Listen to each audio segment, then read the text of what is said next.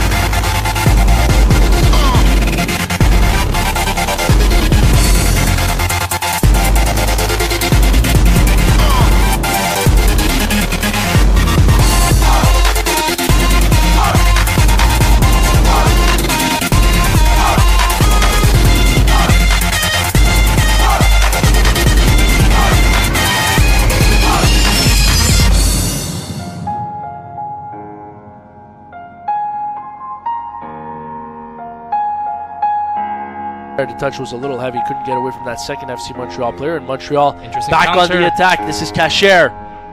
Kacher looking for options, finds Lenko Jose.